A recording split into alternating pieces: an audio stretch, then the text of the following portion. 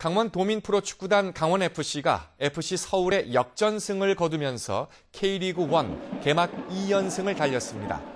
강원FC는 오늘 서울 월드컵 경기장에서 열린 2018 K리그 1 2라운드 원정 경기에서